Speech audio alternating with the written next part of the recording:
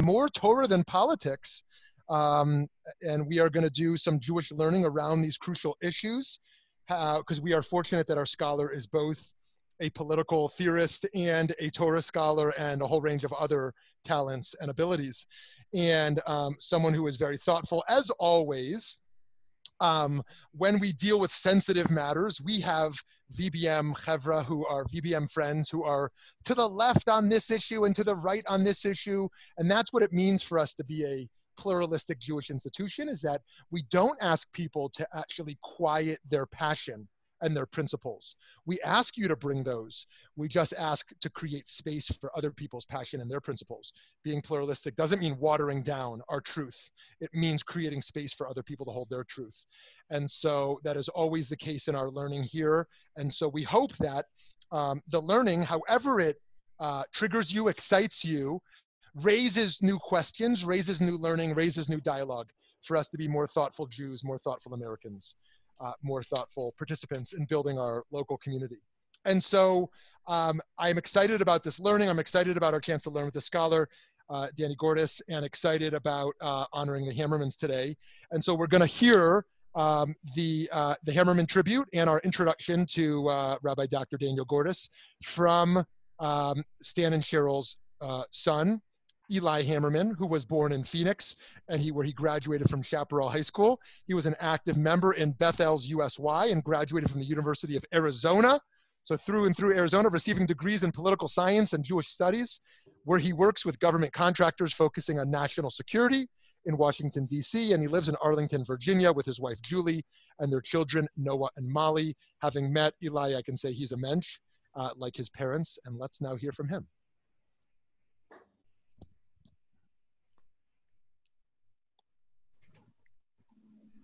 Good morning, and thank you, Rabbi.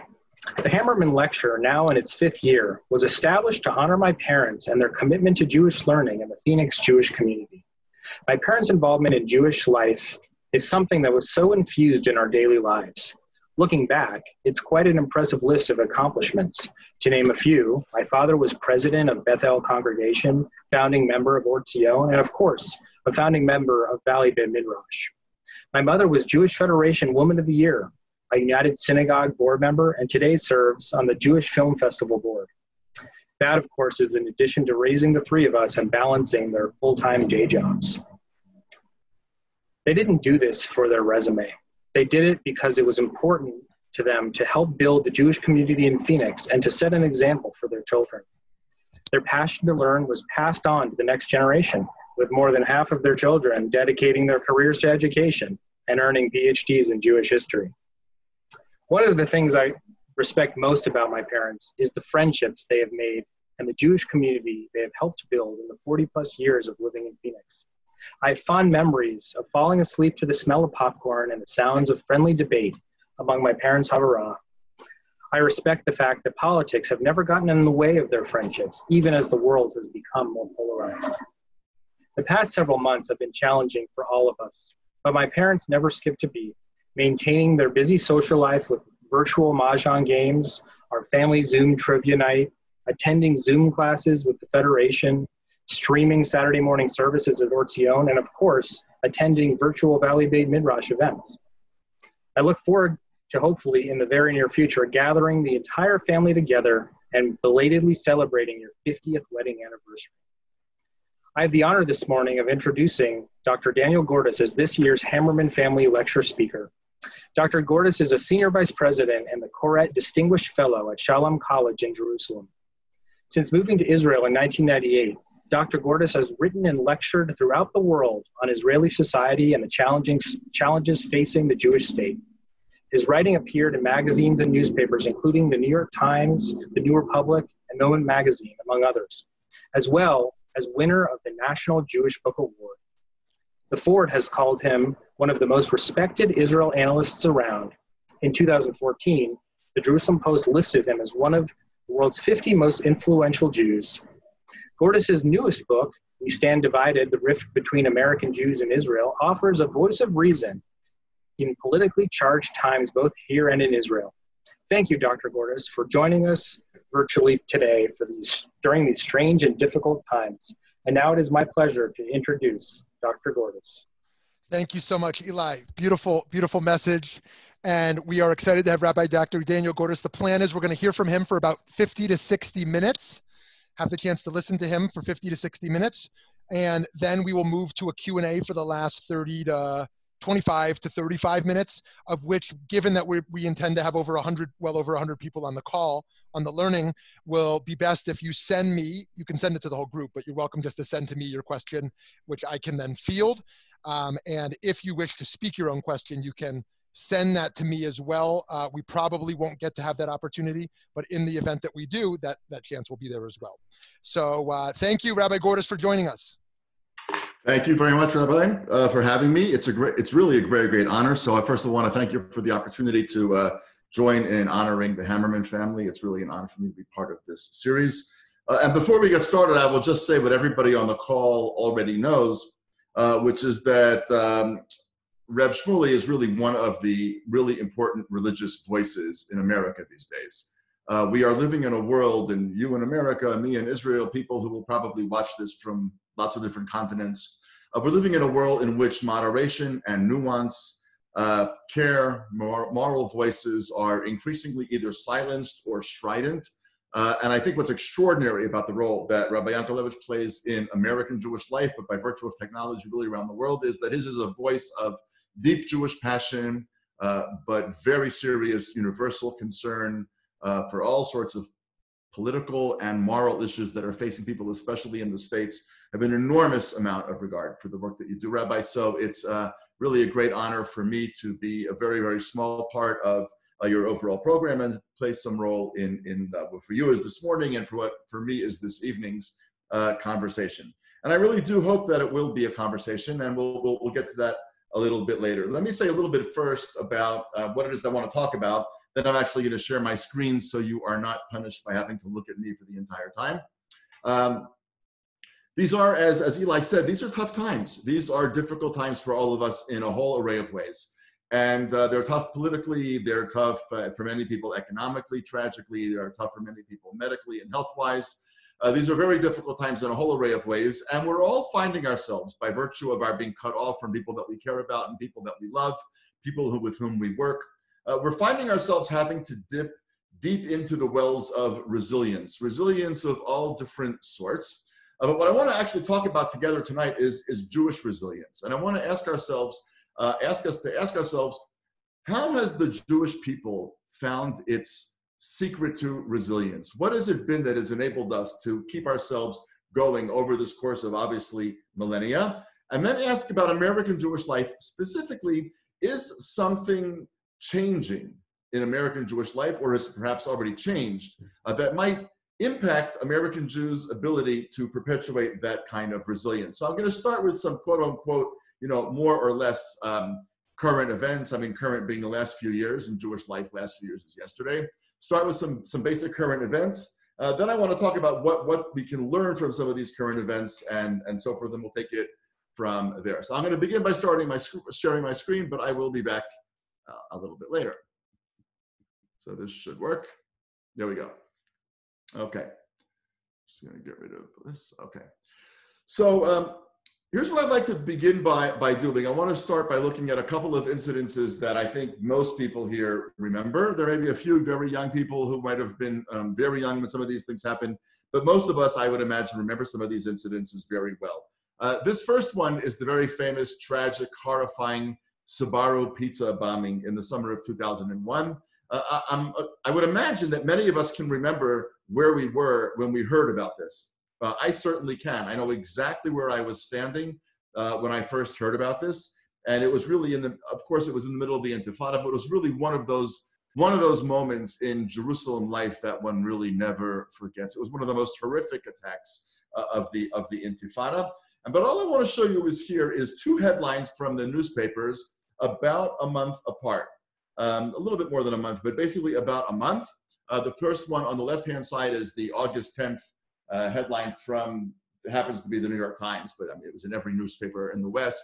Uh, a lot of people were killed. More than 14 at the end died from the suicide attack. And a month later, uh, much less covered, but not, um, not unimportant in any way because we're going to be talking about resilience, is that the Suicide Jerusalem Pizza Shop reopened as a stand against terrorism. That it reopened is okay, important. Uh, that it reopened as a stand against terrorism is interesting. That it reopened a month later is actually extraordinary. Uh, for those of you who haven't seen it, don't do it now, but after our conversation, if you want to Google it, you can go online and you can see the horrifying pictures of what actually happened in August of 2001 there in Jerusalem on the corner of King George and Jaffa Street. So those of you who know Jerusalem know what a central uh, intersection that is. It opened a month later. They kept crews going around the clock, obviously except for Shabbat, uh, to make sure that this thing could reopen. And it was really a very important thing for the owners and for Jerusalem in general for people to see this kind of a stand. And I'll show you another example of this. This was in a, a very sad case eh, also during the Intifada. The Intifada, just to remind you, starts around the Yamim Noraim, around the high holidays of 2000 and ends towards the end of 2004. So it goes, some people say beginning of 2005, depending on how you count, but it goes for about four years, uh, give or take. Uh, so here was another case of another exploded restaurant. This one was the Maxim restaurant in Haifa, which was known actually for being a place that both Jews and Arabs frequented.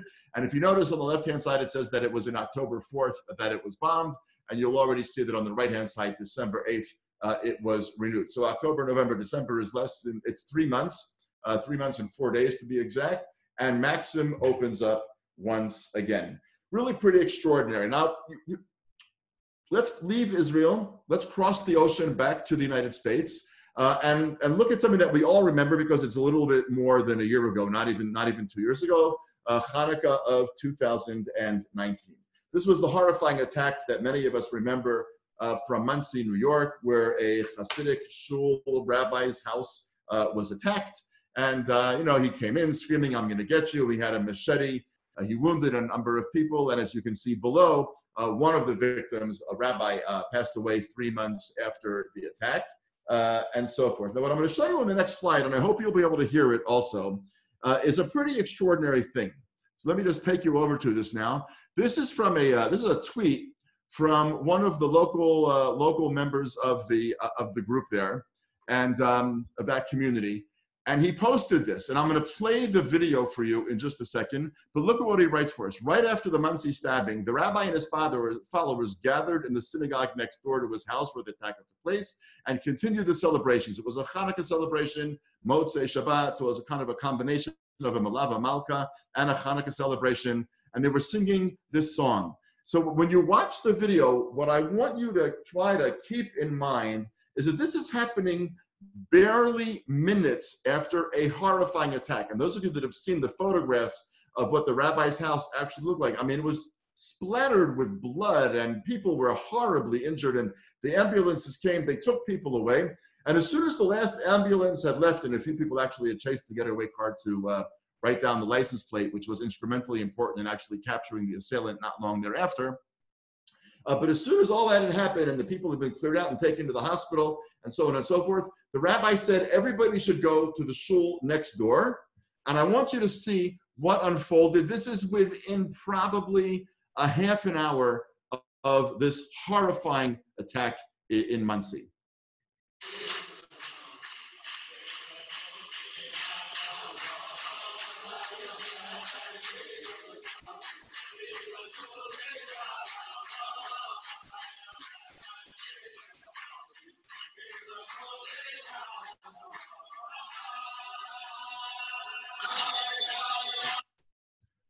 So I don't think it needs one needs to say a tremendous amount to say about how astonishing that scene is. In other words, that's the kind of powerful singing that we see at, at all different kinds of things, uh, but we would not ever in our wildest imagination imagine that transpiring just minutes after an attack like this. So what we've seen is in the Zionist world, in the Israeli world, uh, this response of immediately rebuilding, and there are obviously infinite number of examples that one could have tragically taken from Israel, uh, getting back on its feet very, very quickly.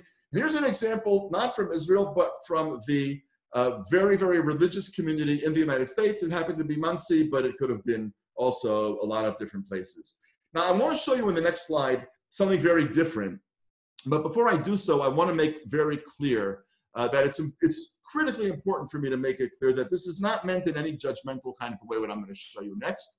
Uh, it's just a very, very different kind of response. Uh, how individual communities respond to catastrophe like this, how individual communities respond to tremendous adver- adversity, pain, loss, suffering uh, is very nuanced, can be very private, uh, has a whole array of factors that come in. So none of these instances are entirely entirely comparable, uh, but nonetheless, I think uh, it's worth it to, for us to take a look at this next incident.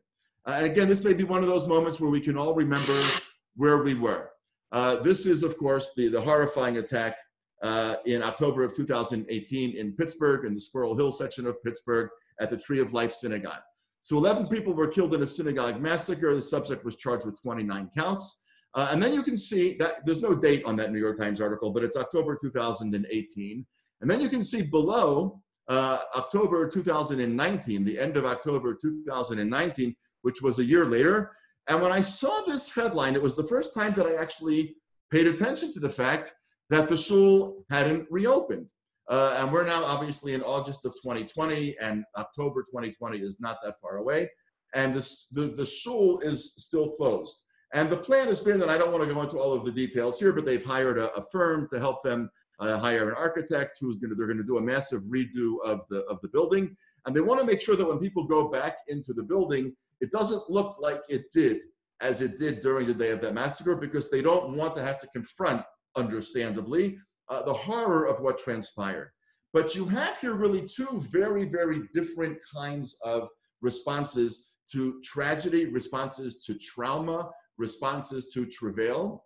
You have on the Israel Zionist side and in the what I would call, you know, hardcore religious community, you have this instinct of rebuilding immediately which does not seem to have happened in this example here in Pittsburgh, and many other examples, by the way, not most of them in, in the United States, thank God, but, but in other places around the world. And what I want to begin to ask is why is that the case? Uh, so here is an image that I'll just say for the sake of being uh, totally upfront, it's stolen from the New York Times. But this is a great image that the New York Times has actually used uh, for resilience. So striking down roots and withstanding the blowing winds and so forth. Uh, and what I want to ask for a little bit now is from where do these abilities of resilience. From where does the wellspring of resilience in the Jewish world really come? If we look at that Monsey community, or if we look perhaps at the Zionist community, though there I think it's a little bit different, but where Jews over the thousands of years have found resilience, where does it really come from? And I want to, here we want to turn our way away from a little bit of uh, current events, so to speak, and turn our attention a little bit more to Torah, look at a few sources, and I want to make a claim about the way that Jews view history, that Jews traditionally view history, and argue that it's that traditional view of history which is key to our core of resilience. So let's start now with the Tachanun prayer, uh, which some of you are probably familiar with, and I'll just read you a couple of passages. These are very brief passages. Tachanun on Mondays and Thursdays is actually fairly lengthy. We say it normally. It's not a prayer reserved for a particular time of the year. There are actually a few periods of the year when we don't say it. Uh, but on a typical, typical, normal everyday, uh, on Mondays and Thursdays, it's, it's, it's fairly long. Uh, and on other days, it's somewhat shorter. We don't say it on Shabbat and holidays, uh, but it's a lot longer than this. And just look at a couple of the quotations here. So, Lord our God, do not be distant for us, for we are worn out by the sword and captivity, by pestilence and plague, by every trouble and sorrow. And it goes on. These are really very brief quotes of much longer uh, citations. The second one, for you, Lord, we wait, for you, Lord, we hope, for you, Lord, we long. Do not be silent while we suffer. For the nations are saying, their hope is lost. We're your people. And the nations are looking at your people and they're saying about us that our hope is lost. And the only way for us to show that our hope is not lost is for you not to be silent anymore, Help us. Help us withstand this. Help us stop, put an end to the suffering, and so forth. And then the third one continues this. Look on our affliction. Habita be'onyenu. For many are our sufferings and heartaches. Ki rabu machovenu. V'tzarot levavenu. Have pity on us. Chusa Hashem aleinu. V'al tishpoch aleinu. Have pity on us, Lord, in the land of our captivity. Do not pour your wrath out on us. In other words, God, please stop this outpouring of wrath. Now, if I hadn't told you at the beginning that this was taken from the daily Tachanun prayer, and I had asked you when you weren't familiar with it, let's just hypothetically say that, you know, some people on the call weren't familiar with Tachanun, which is perfectly understandable. Uh, and I would have said, when is this from? You know, you might have guessed, I don't know, this is the ninth of Av, the Tisha B'Av, when we mourn the destruction of the temples, which we'll come back to a little bit later. Uh, you might have imagined that it's for a terribly sad day in the Jewish calendar, maybe the 17th of Tammuz, when we mourn the breaching of the walls, or, or, or the 10th of Tevet, when we mourn the beginning of the siege on Jerusalem, or the fast of Esther, when we fast because of the vulnerability of diaspora life, as it's described in the book of Esther. You know, you would have been quite understandably, it would have been a defensible position to say, oh, this must come from one of those terrible days. But it doesn't. This is part of the daily liturgy. And what I want to try to suggest, therefore, is that this has something to do with how we Jews look at history. Let me give you one or two other examples, and then we'll try to say a little bit about what I think it actually might say about the Jewish view of history.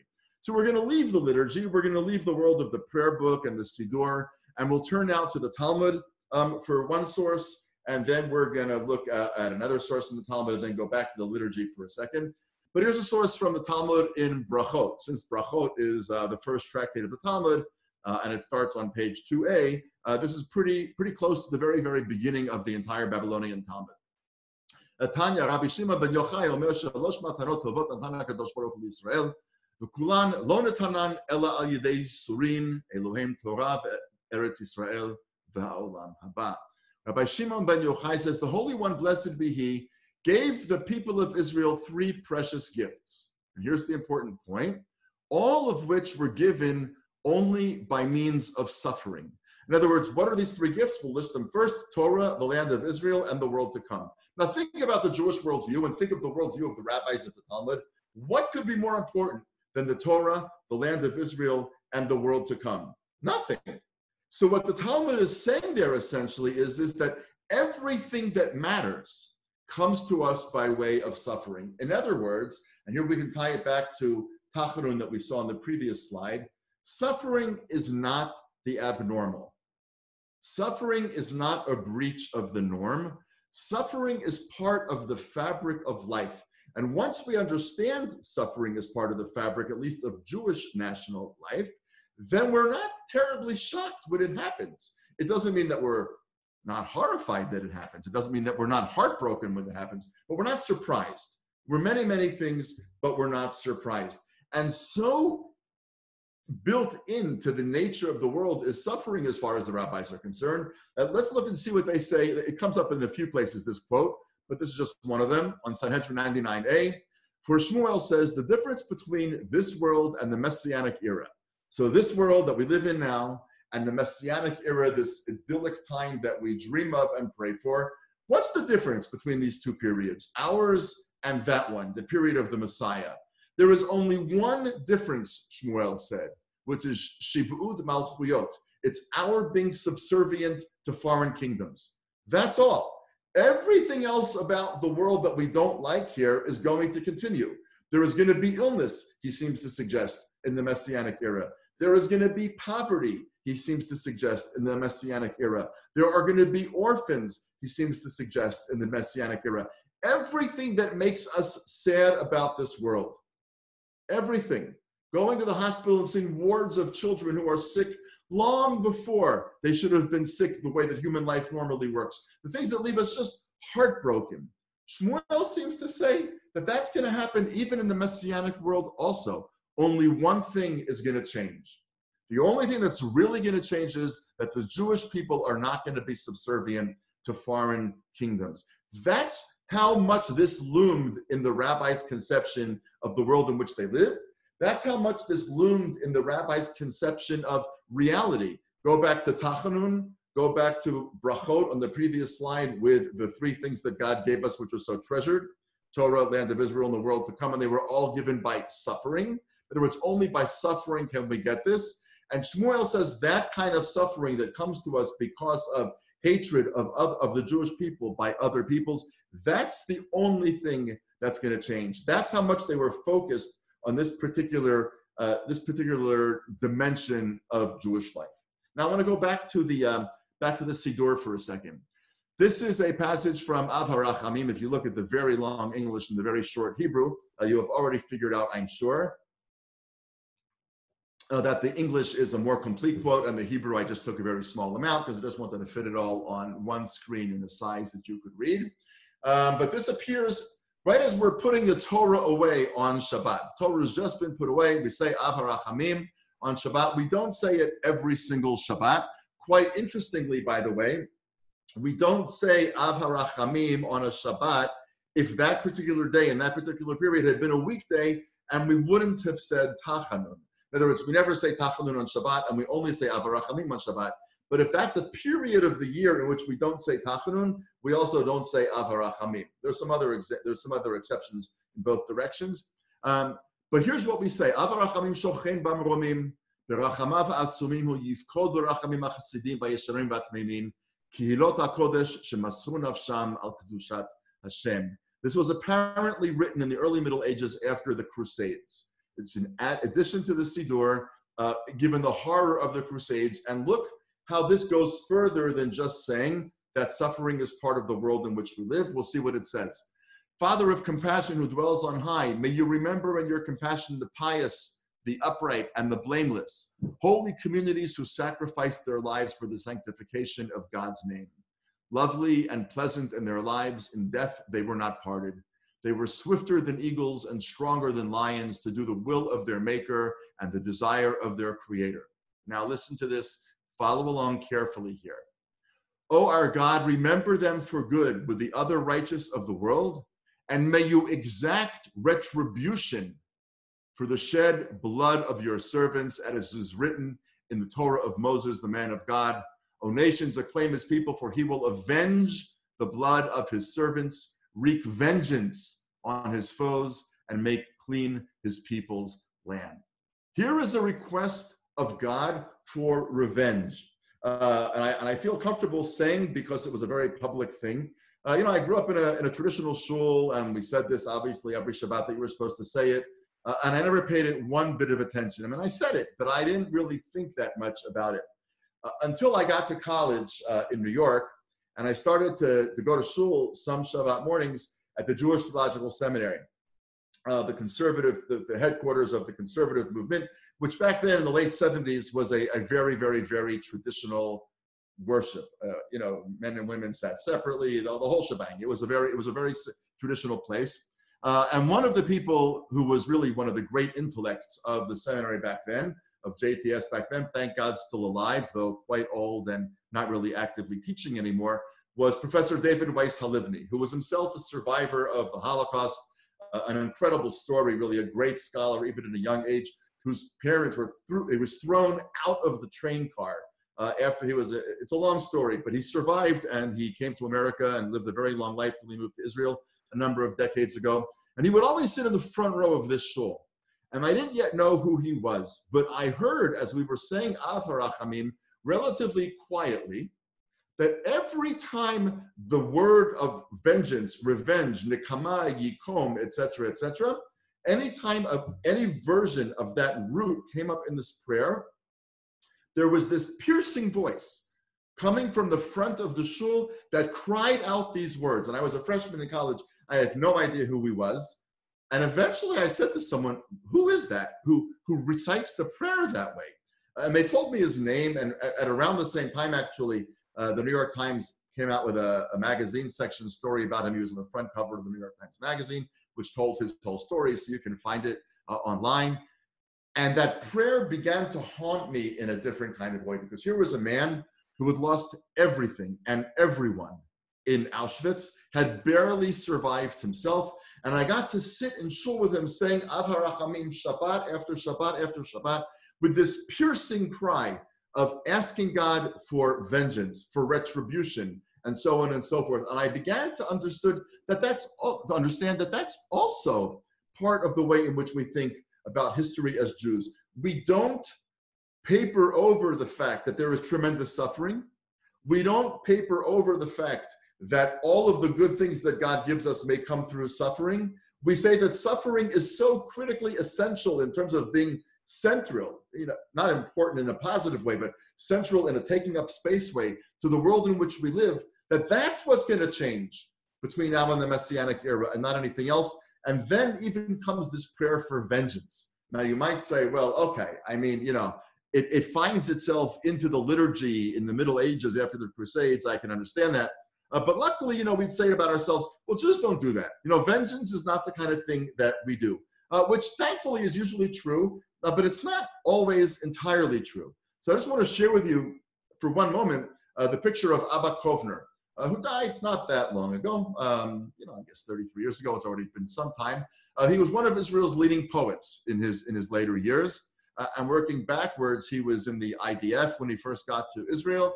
Uh, this is a picture of him standing in the very middle of the back row. Uh, that's him as a young man uh, when he was in the Vilna ghetto and part of a group of Jews who chose to try to defend themselves in the Vilna ghetto. But what's interesting about Abba Kovner and our conversation was that after the war, uh, he and a group of friends founded a group called Nakam, which means the Avengers, basically. And their plan, which was discovered um, and therefore prevented, was to take retribution against the Germans by poisoning the wells of Hamburg, Frankfurt, Munich, and Nuremberg with poison that they actually were able to get. They acquired the poison, but they were arrested before they could put it in. They wanted to kill six million Germans. And when other people beyond Kovner, other members of this plot, uh, were interviewed in later years as Israelis, and you can find this again online, they said, yeah, we didn't really care if it was guilty Germans or non guilty Germans. We didn't really care if it was a child German or an adult German. We wanted retribution. They killed six million of us. We were going to kill six million of them. Now, we again can take a huge sigh of relief that that plot never came to fruition because it would have made a lot of things a lot worse and would have been a horrible human tragedy in addition to everything else. But there is this sense in at least part of the Jewish world uh, that this idea that we saw in Av HaRachamim here uh, is actually something that some Jews might want to actually enact. Thank God, you know, usually it doesn't happen. Now, so we've seen in the Sidur at least, we have Tachanun and we have Av HaRachamim, two prayers that talk one about the centrality of our suffering and one about our therefore asking God to exact retribution or vengeance on behalf of the Jewish people. Now, what happens? These are um, blurry, I apologize, but these are covers of two recent Sidurim, two recent prayer books uh, that have come out in the United States. Uh, Mishkan Tfilah on the top left is a Reform Sidur, and Lev Shalem on the bottom right is a new conservative Sidur. Now, the conservative Sidur, Sim Shalom, that came out, uh, I guess, about 40 years ago already, probably, uh, had Av HaRachamim and Tachanun in it. Lev Shalem, the one on the bottom right, which is because it's a Siddur for Shabbat, won't have Tachanun because you don't say Tachanun on Shabbat, so that's understandable. But it also doesn't put Av HaRachamim in the Siddur. It puts it at the very, very back with a note that some people kind of used to say this, etc., etc. It makes it clear that the movement as a whole doesn't see this as part of the regular worship liturgy anymore. Uh, and I checked with some authorities who are really expert in the Reform liturgy, much more than I am and they are not aware of a single reform Siddur already going back to the previous century, even in Europe, a single reform Siddur that has included either Tachanun or Av Harachamim. In other words, modern Jews, modern Jewish movements, very much unlike, for example, the Monsey community that we saw before, where of course they say Tachanun, and of course they say Av Harachamim. Uh, more modern communities have seemingly moved away from that centrality of Jewish suffering in our assessment of the world and asking God uh, to take vengeance when necessary. And this is, of course, the big question. Why, and we're talking only about American Jews right now, why is it that in American Jews we have moved away from a world in which non Orthodox communities, and I'm speaking, by the way, as a conservative rabbi, so I'm not dumping on anyone else, I'm speaking about my own community as much as anybody else, but why is it that non-Orthodox communities have moved away from wanting to say Tachanun? Why have they moved away from wanting to say Av HaRachamim? Why have they wanted to portray the Jewish experience in such a different way from the way that the traditional Siddur did it? And in order to try to make that claim, we're going to move at least to two people here who have nothing to do with the Jewish world at all. Uh, C. Vann Woodward was a leading historian of, uh, of America. He was a, a, great American historian, died a couple of decades ago, I think. Uh, he wrote also another book called The Burden of Southern History, which is really fabulous about the ways in which the South and the North um, looked at history very differently. And for those of you that are following, obviously, and I assume most of you are in America, uh, what's happening now, for example, with Confederate symbols and Confederate flag and statues of Lee and so on and so forth. Uh, he wrote his book long before this was an issue, uh, but to go back and read his book, that's read his book that's called uh, "The Burden of Southern History" is really a fabulous opportunity to understand how differently the North and the South understood history. But this is a book that came out after that one, if I'm not mistaken, uh, and it has nothing to do with the North and the South, but it does have something to do with how he understood the American mindset. And here's one passage among many that one could have taken from this book in which he's describing how America created the worldview that it created among its citizens. So he says here, optimism presupposes a future that is unusually benign and reliable, reliably congenial to man's enterprises. Now, unusually benign and reliably congenial is the exact opposite of tachanun, right?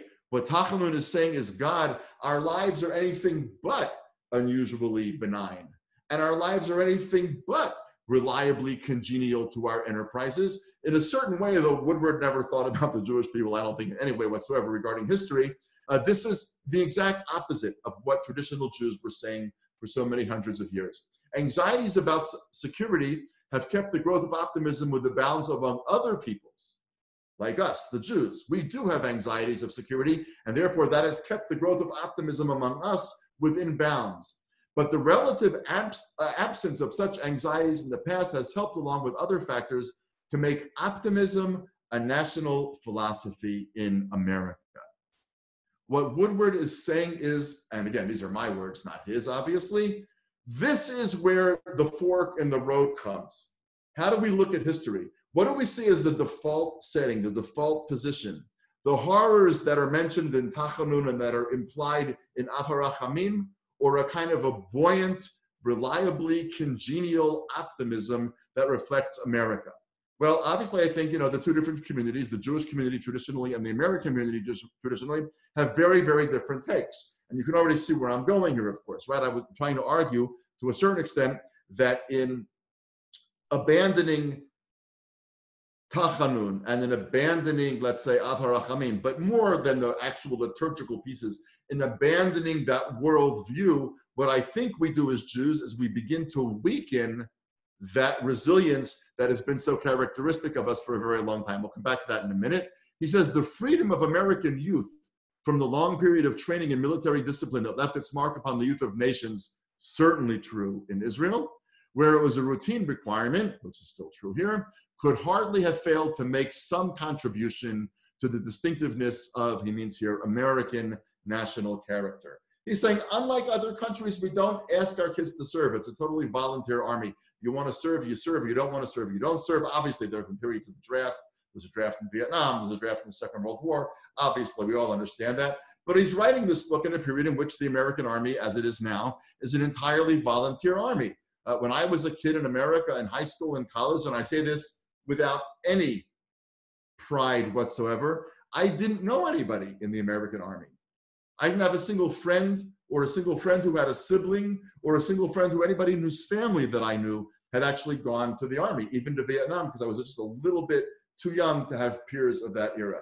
And obviously in Israel, there's nobody who doesn't know somebody in the army. And so what Vann Woodward is saying here, see, Vann Woodward is saying here is that this kind of optimism, this notion of an unusually benign and reliably congenial reality, that's America he's saying. And what I'm trying to suggest here is that I think that as American Judaism has tried to become more American and has left this particular Jewish focus on our travails aside, I fear that it may be weakening our ability to bounce back. As you can see on the difference between, let's say, Israel and Monsey on the one side uh, and Pittsburgh on the other side, again, without any implied criticism of Pittsburgh in any way whatsoever simply to say that the horror of what happened, and it was undeniably horrific, caused them to be in a world in which they could not go back into that shul if it looks like it did the way that it did before.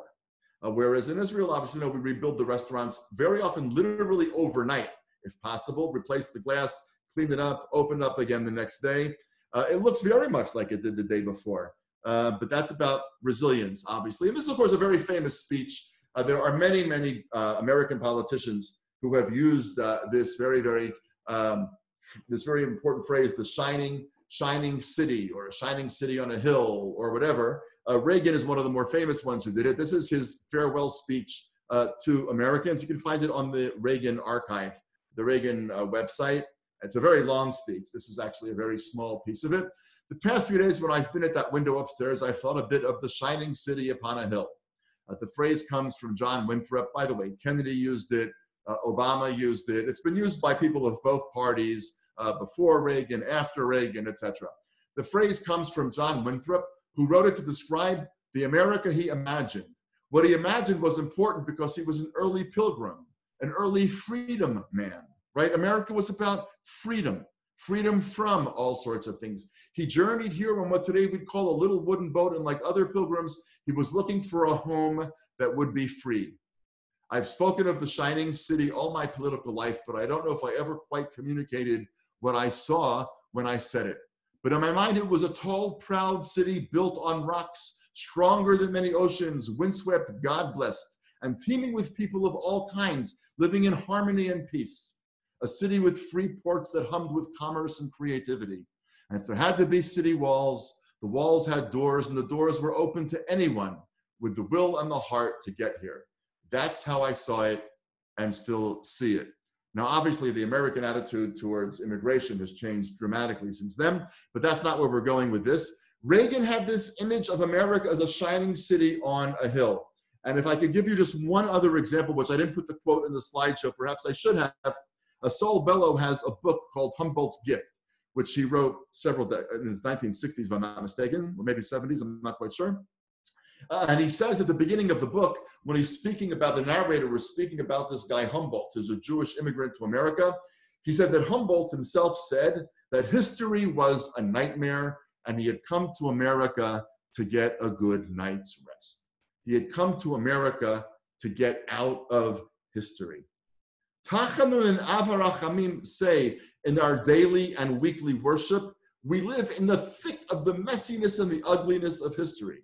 And what the revised Sidurim that we saw a little bit before, these Sidurim here and many, many others in which Tachanun and Av HaRachamim don't appear, and there are many other examples of that, what they're saying basically is we don't want to live in that history. We came to America for a very, very different purpose. We don't want to recite the travails of Tachanun. We don't want to ask for the vengeance of Av HaRachamim. But what I'm suggesting to you, of course, is that comes with a price, which is perhaps something having to do with our resilience.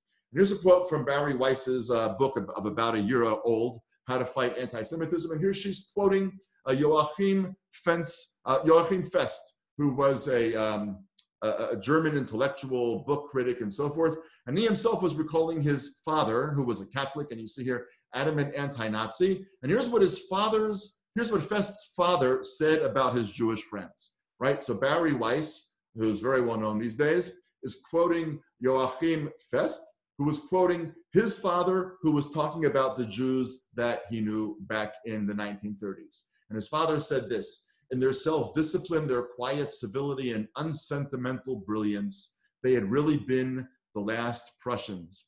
They had only one failing, he said, which became their undoing. By being overwhelmingly governed by their heads, they had intolerant Prussia lost their instinct for danger, which had preserved them through the ages. In other words, we have an instinct for danger. Fest, who I'm sure never read a Siddur in his life, but he understood the Jews well enough to know that we had an instinct for danger we had an understanding that danger was always lurking around the corner. And that's why when it happened, when tragedy happened, when travail came upon us, we weren't shocked. We were horrified, but we weren't surprised. So when the rabbi says, let's go next door to the shul a few minutes later, we can actually sing a verse that says that God's mercies have not failed us. How can we sing that? Because we're all here. Yes, It's true. Some people were taken to the hospital, and yes, it's true, horribly. One of them would eventually die. But we're all here, the verse is seemingly saying. And the rabbi said, that's what we're going to sing because we had an instinct for danger, and an instinct for danger meant a sensibility about the inevitability of this kind of horror, which meant that 30 minutes later, you leave the rabbi's house, you walk literally next door to the synagogue, and in the aftermath of a horror that would have left anybody else paralyzed, you begin to sing that way. I just want to give you a couple of other examples quickly of ways in which I think American Jews have been very reticent to embrace the horrors of history which Jews have always said are part of the reality of the world. Uh, Jonathan Sarna, professor at Brandeis University, an extraordinary academic, uh, has a book called American Judaism, which is by far uh, the finest one volume history of American Jews. Uh, came out a number of years ago, just came out in a new revised edition. And here's what he writes about in 1941. What did unite, he's writing about the beginning of the Holocaust. What did unite American Jews at the time was a sense of depression and sadness, even despair. The editor of the Jewish Publication Society, which has actually been um, subsumed now by the University of Nebraska Press, but many of you who are my age or older uh, may remember those days of the JPS when you get catalogs and it was a very well-known bar mitzvah gift to give, and you give a kid a certain number of points, and she or he could, you know, pick whichever book they wanted. Um, they were concerned about the psychological effect of so much bad news on the Jewish community's morale. So the JPS, the Jewish Publication Society, decided in response to call a halt to terrorizing the Jewish population in the country and preemptively rejected several manuscripts dealing with Jewish persecutions in Europe. In other words, the JPS, the Jewish Publication Society, just said that we're terrorizing American Jews, so we're not going to publish books about what's happening in Europe. In 1941, JPS actually published a joke book for its readers, the only one in its long history with the significant title, Let Laughter Ring. By 1943, however, there was nothing more to laugh about. The mood in Jewish circles had turned black, of course, as well it should have. Now, if there is any day on uh, in the Jewish calendar year when we take all of these worries, all of this sensibility of inevitability of loss, and re- reflect on the horrors of the past and put them all together. It is on Tisha B'Av, the ninth of Av, uh, where we mourn the destruction of the two temples, but we mourn more than that. And here's what the Mishnah in the Tractate of Ta'anit says we actually mourn uh, on Tisha B'Av. Time's getting a little short, so I won't read the Hebrew, but there are really five events, said the Mishnah, that happened to our ancestors on the 17th of Tammuz and five on the 9th of Av. On the 17th of Tammuz, the tablets were shattered, the daily offering was canceled, the walls of the city were breached, and Apostomus burned the Torah and placed an idol in the temple. On the 9th of Av, it was decreed that our ancestors should not enter the land. The temple was destroyed the first and second time. Beitar was captured, and the city was plowed up. And therefore, when Av enters, when the month of Av begins, uh, we limit our sorrow. And what we do on Tisha B'Av, as many of you know, is we fast. It's the only 24, 25 hour fast uh, in the Jewish calendar other than Yom Kippur. Uh, the other fasts that I mentioned, the 17th of Tammuz and the 10th of Tevet and the fast of Esther and so forth, those are all sun up to sundown fasts. Uh, Tisha B'Av starts the night before, just like Yom Kippur does. And uh, we fast. Uh, we don't wear leather. We don't bathe. There are a whole lot of a variety of other restrictions. Uh, but among other things, there are these dirges called kinot uh, that we sing. And here is really perhaps the most famous one. Uh, it goes on much longer than this. I mean, there must be 20 stanzas, maybe long. I know, I never counted. But uh, it's called Lament Zion, Eli Tziyon. Lament Zion and her cities like a woman in labor pains, like a maiden girl in sackcloth for the husband of her youth. Lament for the wounds and the many blows which her sainted ones were struck and for the ma- smashing upon the, among the, on the rocks of her young ones. Lament for the joy of her enemy, rejoicing over her downfall, and for the torture of those once free, her noblemen, her pious ones. Now, uh, some of you who know the melody will respond emotionally to the melody. And those of you who don't know the melody, I think hearing the melody will give you just a sense of the profundity of this song, which I've never seen a Jewish community that does not sing Eli Tziyon on Tisha B'Av. Just want you to hear a—we're not going to listen to the whole thing. Just hear a portion of it to give you a sense of it, because then I want to show you something about Eli Tziyon in the modern era.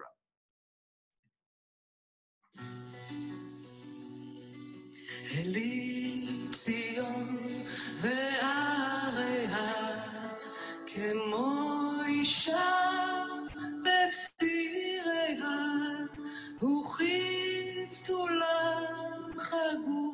גורצק על בעל נעוריה, עלי ארמון אשר נוטש בהשמצון עדריה, ועל ביאת מחרפי אל, בתוך מקדש חדריה,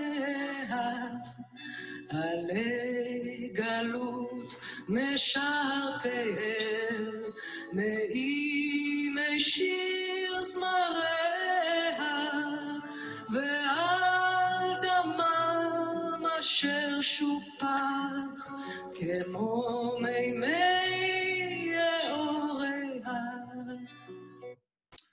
Okay, that gives you a, a little bit of an idea. and I want to show you uh, something new here. But you can see from the bottom, very right-hand corner, this is from the Open Siddur project. Uh, and this came out literally uh, a month ago. Well, we're, we're a few weeks away from, yeah, literally a month ago, this Tisha B'Av. Uh, I, I, see a lot of internet traffic about a new version of Eli Tziyon. So what I have on the left-hand side is the traditional version, exactly the same three stanzas uh, that I showed you just a couple of minutes ago. And here's the new one on the right-hand side, which was written by uh, a modern American rabbi and, an, and another Jewish educator.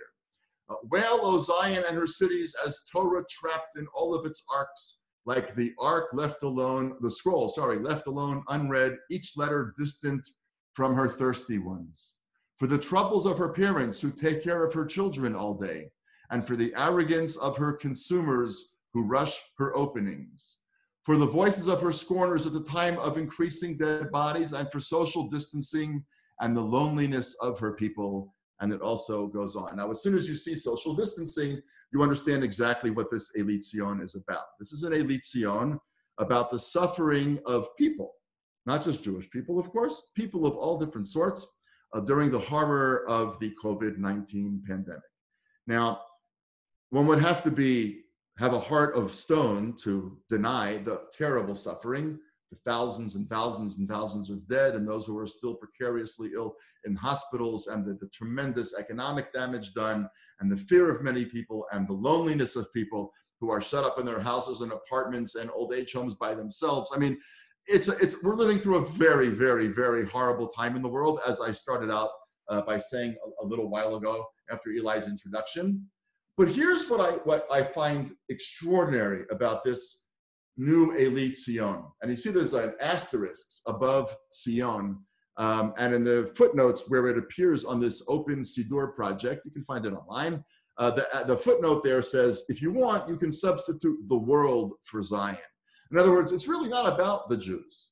It's really not about the experiences of the Jewish people. This is the most universal thing that one can find. I mean, what is more universal than COVID, right? I mean, there's not a country in the world, there's not a there's not a corner of the universe on the planet, at least, uh, that hasn't been been touched by this. And so, on one hand, it's a very, very interesting and noble. And by the way, the Hebrew, which was put online, is, is very, very well done, really well done.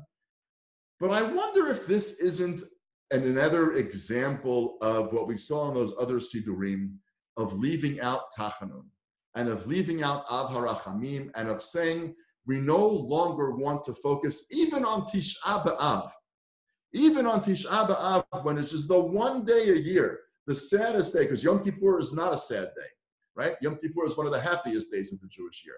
Tisha B'Av, which is perhaps the saddest day of the Jewish year, which is devoted to thinking about Jewish suffering throughout the ages, the two temples, and of course the Crusades, and then almost invariably the Holocaust, which I think is totally appropriate. The one day of the year that the Jewish people sets aside for thinking about its own travail, a younger generation of Jewish leaders, as I said, a recently ordained rabbi and a young Jewish educator, basically say, no, no, no. On Tisha B'Av, we also don't want to talk about Jewish suffering. On Tisha B'Av, we also don't want to be mired in that Jewish history.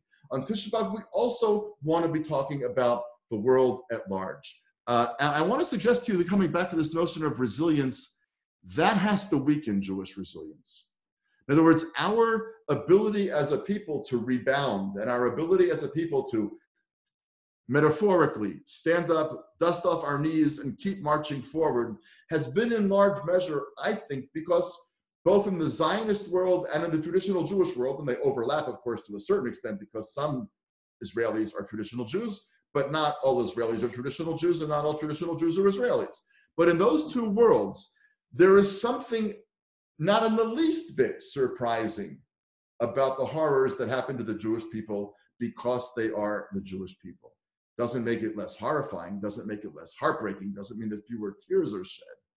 But it does, I think, serve as one of the well springs of resilience that's allowed us to bound back. And when I first saw uh, that Tree of Life had not reopened after all this time, that was when I first began to ask myself, well, well, why would that be?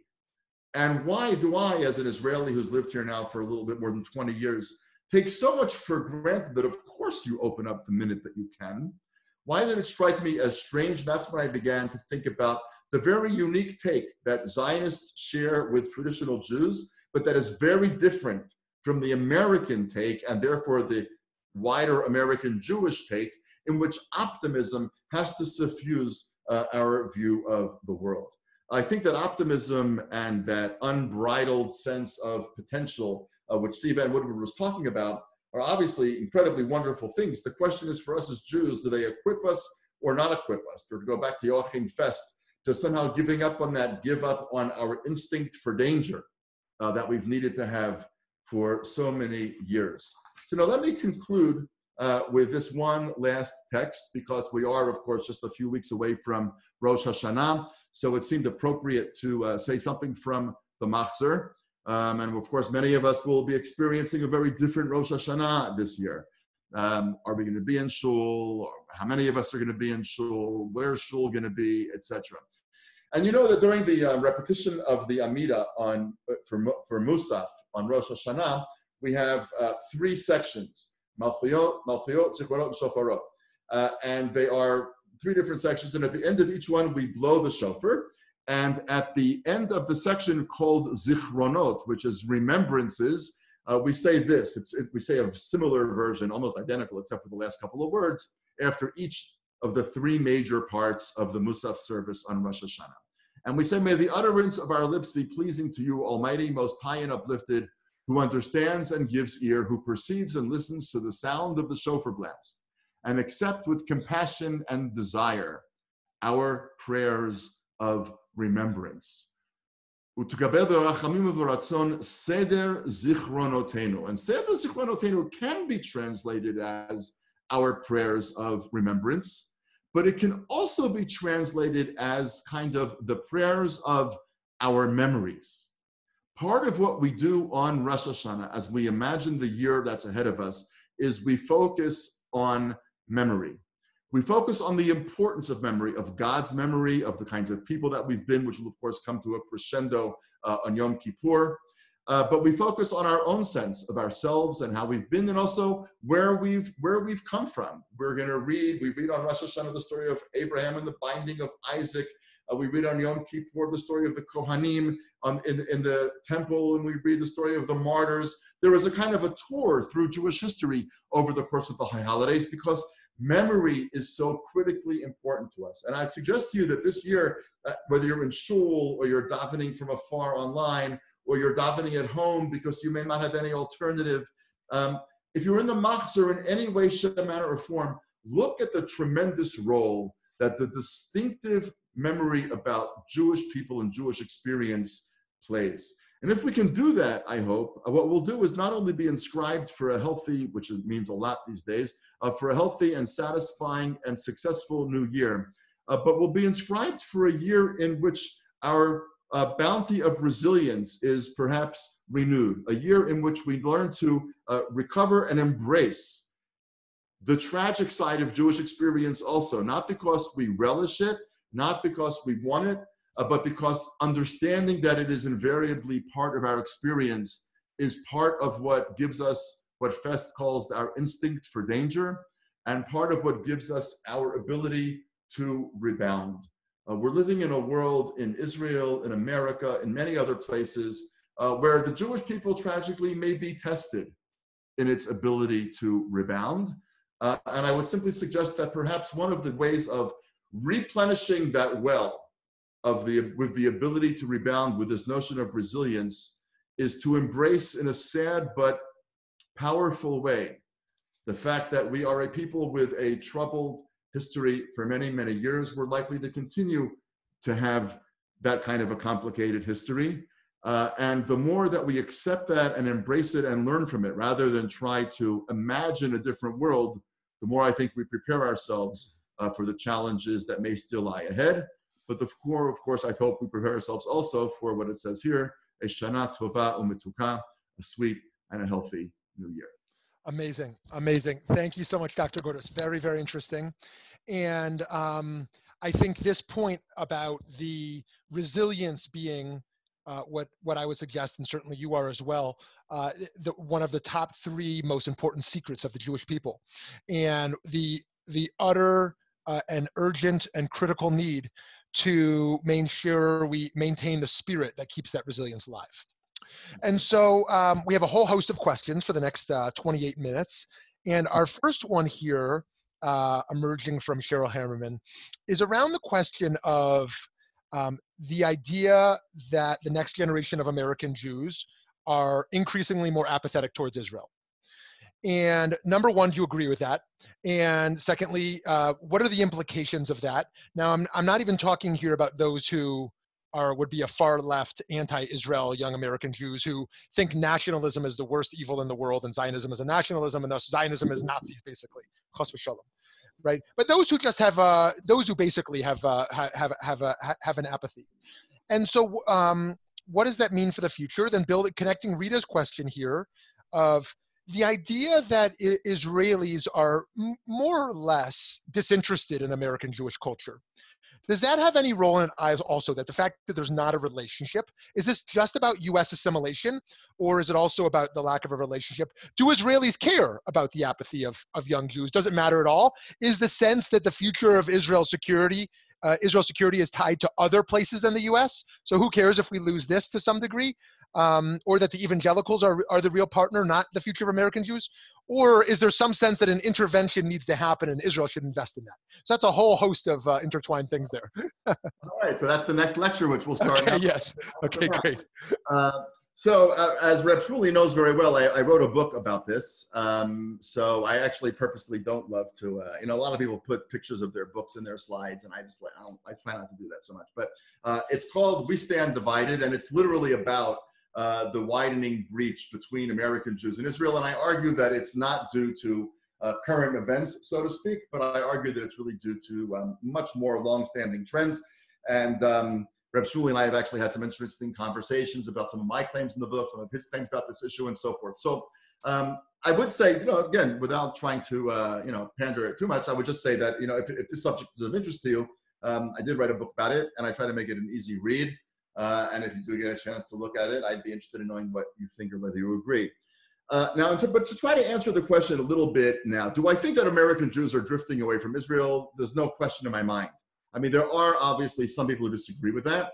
Um, the Ruderman Foundation, for example, which is composed of very, very smart people, um, have done some research and put out some data that suggests that American Jews are not drifting away from Israel. But most of the researchers uh, who write about this suggest that yes, Israel, American Jews and Israelis are drifting far apart. And I think there's a whole array of reasons for that. And I obviously won't go into all of them now. But what I'll say on the American side is just to tie it to what we're talking about tonight, or today for you, tonight for me. Uh, Israel doesn't make any sense if it is if it is cut off from a larger Jewish historical tale. In other words, if you don't know anything about the betrayal of the Jews by Europe in the 19th century, in the 18th, and then, of course, in the 19th century, and to be sure, in the middle of the 20th century, if you don't know anything about the betrayal of the Jews by the world, everywhere the Jews went. Think about it. Name a great diaspora that did not end in catastrophe. I don't mean that just sort of faded away, right? But I mean the Babylonian exile, Sura Pumbedita, that gave us the Babylonian Talmud, really crumbles with the rise of Islam. Uh, the great Spanish exile, uh, diaspora, ends with the Inquisition and the auto da fe. The Polish community, which had been in place for six, seven hundred years and was the crown jewel of the Jewish world, of course, goes up smokestack so that most people don't even have a gravestone. Uh, the, the, the incredibly important diaspora of North Africa ends in catastrophe shortly after the creation of the state of Israel, which is, by the way, worth thinking about from the point of view of American Jews also, because we always assume, well, this is going to end differently. Uh, I mean, I don't know why we would assume that. In other words, I'm sure the Babylonians thought that, and I'm sure the Spaniards thought that, I'm sure the Poles thought that, and I'm sure the North Africans thought that. It's worth thinking about that. But Israel, Zionism is born out of a sense long before the Holocaust, right? I mean, 1897 with the first Zionist Congress is long before anybody's heard of Adolf Hitler. But Zionism is still born out of a sense that anybody who knows anything about Jewish history understands that the world will betray us. And um, if you don't want to acknowledge that, then on a certain level, Zionism doesn't make any sense. And I think that American Jews um, have understandably, but I think incorrectly, uh, believe that they have landed in the one place that they're not going to have to experience that. And I think uh, there are very serious warning signs. I wouldn't even say on the horizon. I think they're a lot closer than the horizon. Um, so I think from American Jewish standpoint, yes, I think American Jews are drifting away from Israel, and I think it has to do a lot with uh, we do a terrible job of teaching about Israel, and I have a piece that I'm going to try to put out this coming week about that in, the, in Times of Israel. Probably we'll see. Uh, we do a terrible job of teaching about Israel, and just as an aside, you know, this guy Seth Rogen, the comedian, you know, he kind of got himself in a lot of trouble. And he said, you know, basically, this is what they taught me. This is what they taught me. That's actually true, by the way. He was actually telling the truth. What he was saying they taught is exactly what we teach. Uh, and it's therefore not entirely shocking that people grow up and have good minds and then get really, let's just say, annoyed to be appropriate um, at how they were raised. So I actually kind of felt sorry for Seth Rogen, even though I totally disagree with him in his final conclusion. I actually don't disagree with his analysis, and that's what I'll be writing about later this week. But yeah, we teach Israel badly. We teach history badly. We've tried to portray a world in which the Jews and this whole tachanun thing, this whole suffering thing is no longer part of it. And then you could really ask, you know, who needs Israel? Um, so I think that, yes, American Jews are drifting away, and history is part of it, not all of it but is part of it. American Jews have wanted to see themselves really as Americans, um, and Zionism was, to a certain extent, to flirt with the danger of dual loyalties, which American Jews did not want to do, understandably, um, etc. Now, on the other side of the of, of, the ocean, I think Israelis are are are equally problematic. I think Israelis, in fact, don't really care about American Jewish culture. American Israelis don't even really know very much about American Jewish culture. They know very little, by the way, really about America, believe it or not. I mean, they know the Disneyland and you know whatever and Silicon Valley, uh, but they don't know a lot about America. They don't understand at all, for example, what's happening about race in America now. They have no idea. They have no idea that slavery predates 1776. They have no idea um, that you know that that as late as Lyndon Johnson, the Great Society, you know, we've made strides, but it didn't go very far. They don't know anything about the Reconstruction and Jim Crow. I mean, a lot of Americans unfortunately don't know that stuff either. But one can't really understand America without understanding that stuff. So Israelis, it's, it's also true of their understanding of, of, of American Judaism. And don't forget here too, if American Jews were committed to being fully Americans, and that made Israel problematic, Zionism was created or was committed to ignoring or even destroying or ending the diaspora so that Israelis have inherited this notion that the diaspora is an, an, aberration, right? Real Jews live in Israel, so to speak. I don't believe that, but that that's kind of a you know a dumbing down of a more sophisticated Israeli, nuanced Israeli viewpoint, which really sees the diaspora as hopeless. And this is not a Bibi Netanyahu thing. I mean, David Ben Gurion said in December of 1960 he was enraged about something that American Jews had done. And he said, American Jews are going to disappear in a sea of assimilation and ignorance. 1960.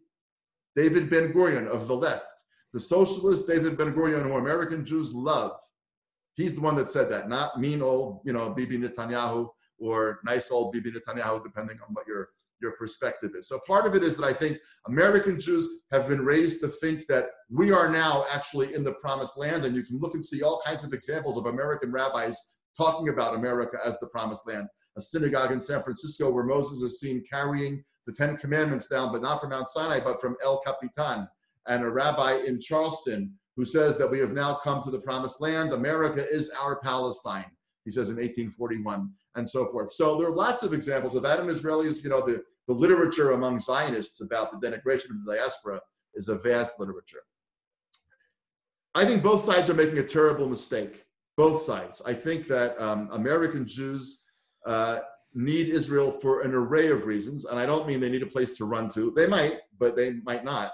Uh, but I think this, by the way, if you took Israel out of the equation of American Jewish discourse, what's left that gets people riled up? When I, when I was in rabbinical school, you know, will a Orthodox rabbi sit on a panel with a conservative rabbi or a woman, female rabbi? Nobody cares anymore right? I mean, when I was, you know, when I used to live in America, will you eat triangle K? Will you not eat triangle K? I don't even know if they have triangle K anymore. I've lived in They do, yeah, they do. They do. Okay, Muslim. You know, I don't know. you know, but you just get people all bent out of shape. I remember Shabbos lunches in Los Angeles. You know, triangle K, and why is it not okay? Nobody cares anymore. Everybody does what they do. Nobody cares about any community other than their own. Take Israel out of the equation. Where's the lightning bolts, in the best sense of the word, in American Jewish life? Uh, and I think, by the way, that Israel has engendered America with a tremendous sense of optimism, Israeli American Jews, tremendous sense of optimism and shinshinim who come. There's a lot of ways in which Israel is the, a spark plug for a lot of American Jewish life, and I wouldn't, wouldn't ignore that. Um, by the way, let's say by the same time, Israel is to me meaningful, not if it's a state of Jews, 80% Jews, 20% non-Jews, who happen to be citizens of the state of Israel. What's meaningful to me about Israel is that, yeah, there are certain Jews who are citizens and certain Jews who are non-citizens, but we are the state of the entire Jewish people. We have an obligation to the entire Jewish people. They don't all get to vote. They don't all pay taxes. They don't all go to the army. We don't have to do what they say necessarily, but we have to be part of a conversation. And I think that the Israeli dismissiveness of American Judaism is foolish, not because we need American Jewish support in Congress, which I'll come back to in a minute, which we do. But I'll tell you why some people say we don't, even though I disagree with them. Uh, it's because that's what Israel's purpose is. Israel's purpose is to be a, a, sovereign entity that engages the entire Jewish people, those who live here and those who don't, in meaningful discourse about what Judaism should look like in the 21st century. Uh, and to say, oh, those American Jews, you know, they're going to disappear in a sea of, anti, of, of assimilation, the way that Ben Gurion said in 1960, which is, you know, it's, it's what, 60 years ago, uh, it, it, it, seems to me to be not helpful. Now, why would Bibi Netanyahu, therefore, somebody asked about, you know, evangelicals and all that kind of stuff. Why would Bibi Netanyahu, um, why would he be sort of hedging his bets and cozying up to Putin and cozying up to Modi in India and cozying up lots of people that American Jews sort of cringe, as by the way do Israelis, uh, when they see Bibi cozying up to these people? Because one thing you can say about Bibi is he's not stupid and he is uh, very savvy and very strategic.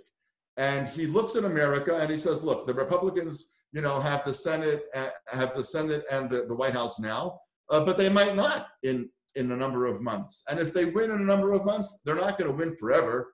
There's going to come an era where the Democrats are going to have Congress and the White House.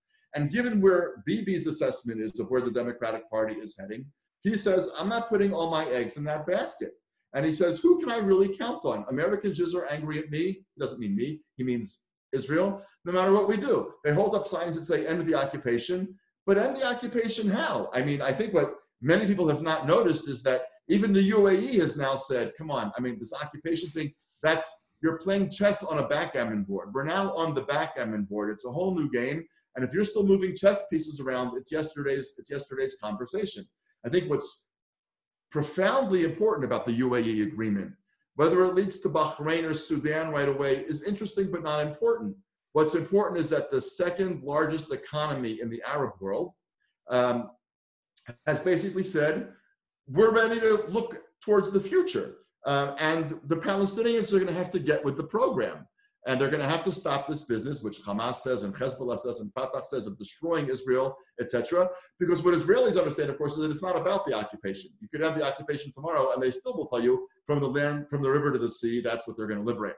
And I think that a big test for American Jews right now is can they give up on that old narrative and understand that this is not about the occupation. The occupation, I'm not a big, you know, huge fan of the occupation. It's not good for them. It's not good for us. But do what about it? And therefore, Bibi says when they hold up signs that say the end the occupation, what do they actually want us to do with Hamas in Gaza and Hezbollah in the north and Fatah in the West Bank? What do they want us to do? And since they don't have any idea what they want us to do, there's nothing in the world that I can do to assuage them. And therefore, he says, there's about 5 million, 4 million, 5 million, 6 million, depending on how you count Jews in America, and there's 95 million evangelicals. So mm-hmm. what do I need? What do I need? Five million people, some 70% of whom are going to vote for the party that is more hostile to Israel anyway. This is again Netanyahu speaking, not Daniel Gordis speaking. The evangelicals, if I can make them happy, that's what I'm going to do. Now, again, I think it's a mistake in terms of Israel's long-term purpose. Um, but that's his that's his argument. What we've gotten to by Israelis feeling that nothing that they can do will win the approval of American Jews is that they have really kind of hung you know hung up their hands, wrung their hands, and said, "Okay, we're done," and walked away. And I think it's terrible for both communities. And um, I think it's an important time for us, not only in terms of Rosh Hashanah Yom Kippur and you know time of repentance and introspection, but the UAE actually could really be a control alt delete, not only on the Middle East, but in how American Jews think about the Middle East. Um, and if we could ask ourselves, what do we have to change about our own perspectives? Uh, we could, I think, rebuild this relationship. But time is ticking. Um, and another generation from now, it's going to be too late. So all of us who care about this have to really roll up our sleeves and get to work. Very interesting. Very interesting. So picking up back on this issue of resilience, and um, of course, we need a balance between optimism and the instinct for danger. But thinking about the power of optimism in American culture as rooted in individualism, of one's independence and one's instinct for danger connected to a collective history, a collective history of trauma, and a current reality of insecurity. I wonder, firstly, going back to your interest in article this week on education, how do we rethink engagement with unaffiliated young Jews? Because the approach today in American Jewish life is happy fun. Make happy fun Judaism for young Jews. Give them a Shabbos dinner and give them some a beer and l'chaim and, and they're going to meet someone they want to date and whatever. It has nothing to do with the instinct for danger uh, or for trauma. It has to do with getting people just to be happy and love this. And can that sustain the resilience? So that's the first part of the question. How do we rethink education in such an assimilated culture? The second is you talked about the warning signs, the warning signs that the US uh, American Jewish life could end in disaster. And what do you see as those major threats that are emerging? And is having our finger on those pulses also a crucial part of cultivating that instinct for danger? Uh, so the answer to the last one is yes, but we'll come back. Um, so, look, how to reach the young. I think what Judaism is at the end of the day is one of the world's most profound uh, well springs of meaning. Now, people think about the West. They think about, uh, you know, Plato, Aristotle, Hobbes, Hume, Locke, Shakespeare, Mozart, Beethoven, Bach, Handel. You know, they think about the left, Picasso, Manet, Monet, you know, all of that. Like, while the West is this unbelievable repository of in the arts and in literature and in history and philosophy, thinking about the human condition. And when I go to college, if I'm not in my basement on my laptop. When I go to college, what's really fun about college is actually, you know, being with other smart people who are reading great books and having conversations, not in class, but, you know, around that proverbial beer that uh, Rabbi Shmuly just mentioned, to talk about the big questions of life. I mean, that's what a college education really is about. And I would actually say if you um, want to know if it was worth a quarter million dollars that it costs to send your kid or your grandchildren to college these days in America, it's a very simple question about whether or not it was worth that money. Did they have those conversations? Were there big, profound questions that they thought about in college and read about and listened about and wondered about? If the answer to that is no, then you just threw a quarter of a million dollars out the window because we live in a world today which can be very successful professionally. You don't even need a college degree. Um, but that's a whole other conversation. But um, I say that about the West because everybody thinks that's what the West is. It's this profound, thousands of years long conversation about meaning. And what's Judaism? It's like, you know, dressing up on Purim and lighting candles on Hanukkah and having latkes and having uh, you Shabbos dinner. No, I mean, Judaism is exactly the same thing. It's also an unbelievably profound culture. it's also an unbelievably rich, introspective look at the human condition. And then also has many voices. Now, we weren't so great in the plastic arts, it's true. Uh, but we did do some musical stuff. I mean, I found that rendition of Eli Tziyon that I played for you a little while ago haunting. Um, and if we weren't under pressure, you could have just listened to it. I mean, it's, it's just haunting. And some of what comes out of Israeli music these days is beyond bone chilling. Um, but the Bible and the Talmud and the Midrash and, and, and medieval Jewish philosophy and people in the modern world, whether there's Rabbi Soloveitchik or Rabbi Hartman or Abraham Joshua Heschel or, or, or Eliezer Berkovits or whoever. I mean, there's so many different people. But we never got those young people to see Judaism as a serious, introspective look at, um, at, at the meaning of life.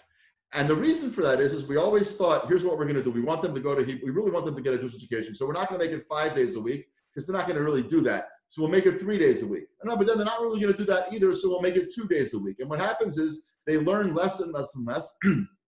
they know less and less. And therefore it means less and less to them. Harvard does not try to increase its applicant pool by making it easier to get in right? The more competitive it is to get into Harvard, the more applications they get. Because if you do get in, then it actually means a tremendous amount. I don't mean that we should raise barriers, but we should respect our kids' intelligence. And I would suggest this compare the educational experience that an American high school kid has when they take AP US history and the, edu- and the intellectual experience that they have when they take some class in their Hebrew high school or whatever. I mean, AP US history is a really serious engagement with the complexities of American history. Its incredible successes and its haunting failures, both of which characterize America to this very day. And it's infinitely sophisticated. And if we don't give our kids the same thing in Jewish life and in Jewish education, why would they not walk away? I mean, people just don't do things that are A, not interesting, or B, that they're not good at. You know, when you're seven or eight years old and you're terrible at tennis, it's still fun to bang the tennis ball around on the court. But by the time you're in college, if you're not good at tennis, you don't play tennis anymore because it's just an embarrassment. Uh, and I think the same thing is true in Jewish life. We don't give them any skills for taking the library of Jewish books that is really their inheritance and learning how to navigate it. Uh, and therefore, the meaning of Jewish life doesn't come through. I think the way to teach Judaism and to reach the young is to increase the demands of Jewish education, to do stuff that's going to turn them on. You don't have to give them the entire Babylonian Talmud in one weekend, but teach them something from a Jewish experience that um, they're going to say, my God, I never thought about that question before. And I came to that important question from a Jewish text. What are these Jewish texts? Who are they? Who wrote them? Where'd they come from? Um, you know, so I don't have anything against Shabbos dinners, not anything against the proverbial beer, not anything against dating if you're not married. Uh, but um, but I think that you're right. Those things are not going to do it. It's going to be meaning. And you know, you got involved in it the way that you got involved in it because of meaning. I got passionate about it the way I got passionate because of meaning. You study Torah because of meaning. I study Torah because of meaning. Uh, we just have to get people to understand why we love what we love, and not you know do it in a profound way for ourselves and our friends and our colleagues, and then dumb it down for the masses because the masses are very smart. The masses want something. Um, so that's why I think it's harder to get people in. Now, what are the warning signs in America? Look, let's. I want to stay very far away from American politics. It's it's a toxic environment, and um, you sure. You, know, you sure it's so toxic? What's that? yeah, it's it, it is quite toxic. Yes, it's quite toxic. It's actually uh, it makes Israeli politics look good. So thank you for that. right. But in any event, I don't want to get into the details of politics. Let's just be very honest here. There is profound anti-Jewish sentiment on the far right and there's profound anti-Jewish sentiment on the far left. And let's be honest about both candidates, right? I mean, there's some stuff in the Trump history um, which is not great about the Jews. For him to get together with a bunch of Jewish leaders who are just saying, American Jews, I just spoke to your prime minister. He's not their prime minister. He's my prime minister. I didn't vote for him, but he's my prime minister. He's not the prime minister of all those people that he met with in Washington or on the conference call or whoever it was to see the Jews as Israelis who happen to be living in America is one very small step away from, uh, you know, not seeing the Jews as authentically American. On the right, you have the white supremacist movement. Don't get me wrong. I mean, the, the, the white, don't, they'll be naive. The white supremacist movement are not great lovers of the Jews by any stretch of the imagination.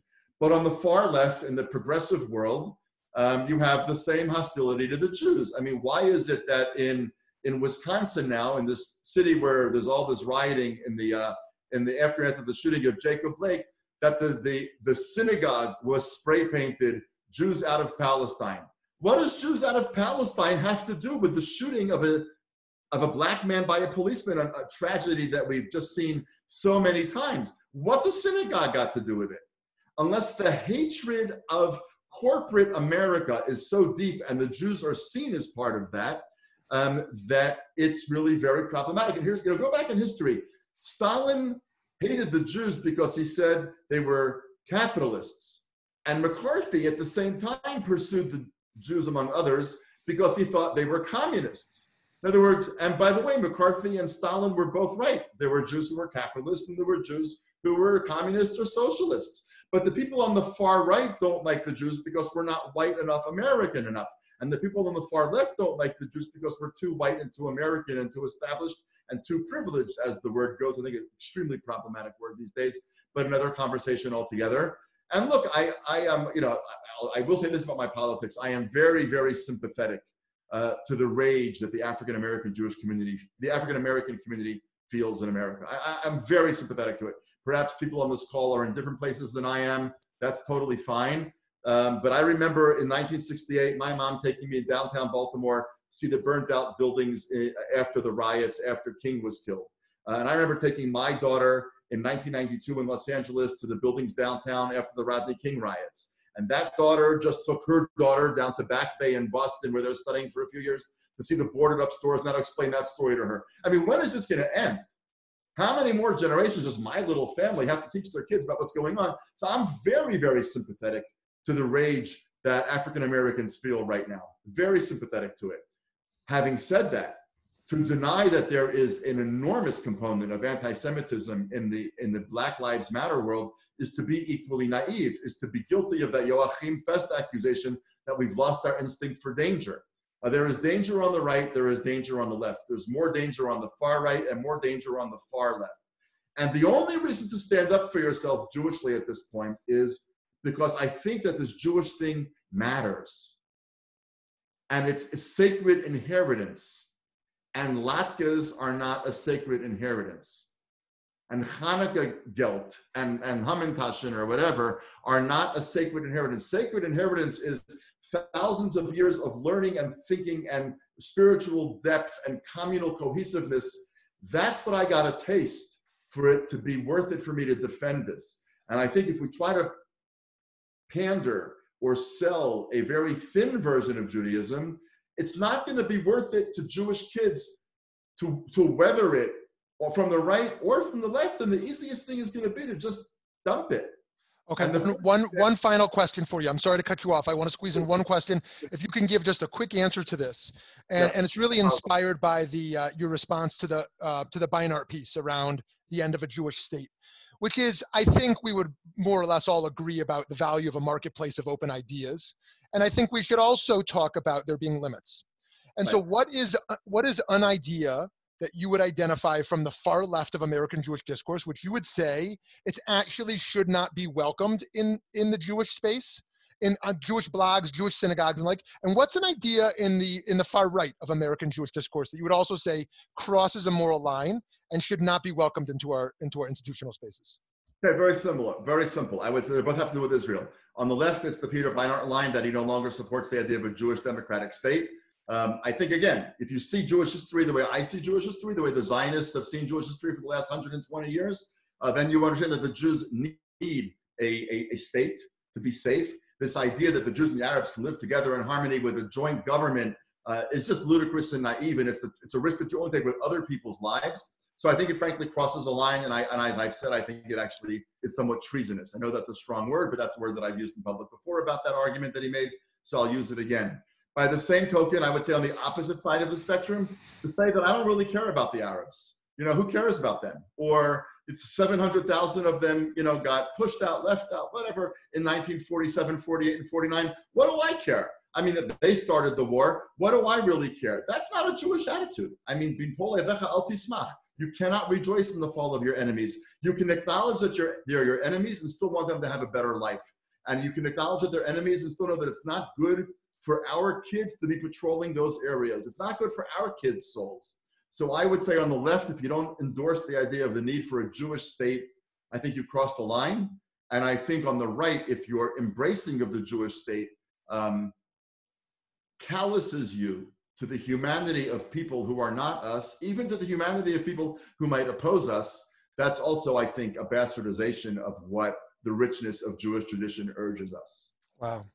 This has been so fascinating. We're so grateful for your time and thought um, uh, in this presentation. I want to thank you for giving us all of this time and deep uh, questions and insights. I want to thank Congregation Or Tzion again for being our hosting congregation today. I want to thank the Hammerman family, Stan and Cheryl, for your leadership in our community and for keeping this lecture series alive, and Eli for your presentation, and all of you for these amazing questions. I'm sorry I only got through a fraction of them. We could have gone on for a long time, but we will have to have Rabbi Dr. Daniel Gordis back again. Friends, we have more VBM programs than ever before. We hope you'll continue to join us on basically a daily basis. Thank you so much. Uh, good night to you, Lila Tov in Israel, and to everyone else. Have a great afternoon. You Thank well. you so much. God bless. All the best. Kol tuv.